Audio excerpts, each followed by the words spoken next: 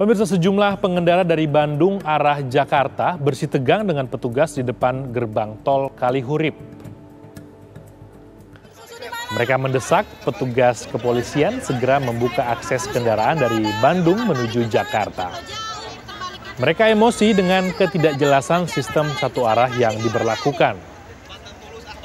Sejumlah pengendara yang membawa anak-anak mengeluh tidak ada makanan dan toilet. Sementara mereka sudah berada di jalan selama lebih dari tujuh jam. Sementara hingga pukul 8 pagi tadi, jalur arah Jakarta melalui gerbang tol Kalihurip tidak kunjung dibuka.